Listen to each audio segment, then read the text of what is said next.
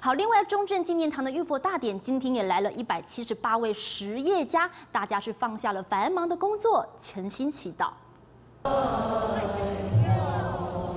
庄严盛世，虔诚祈祷，这是一群平时忙碌奔波的实业家，在这一年一次的佛诞节，特地拨空前来参与。善的磁场最重要，有这么多的好人哈，大家为了呃苦难的众生，大家呃来付出一一点心力哈，所以我想。小爱，我们要把它凝聚为大爱。还有这位带着温暖笑容的连江县县长，每一回参与慈济盛会，都被慈济志工的笑靥所感动。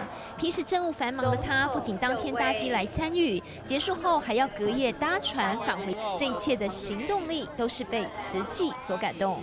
脸上所呈现出来的啊一种呃慈悲啊的笑容，哦让我很感动。我觉得说，呃如果这个社会。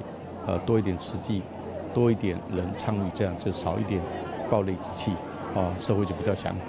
放下繁忙的脚步，在这里步步踏实，手接花香，以佛水洗涤内心，众生齐心祈祷，愿世界无灾无难。担心彭淑佩、李明华这个报道。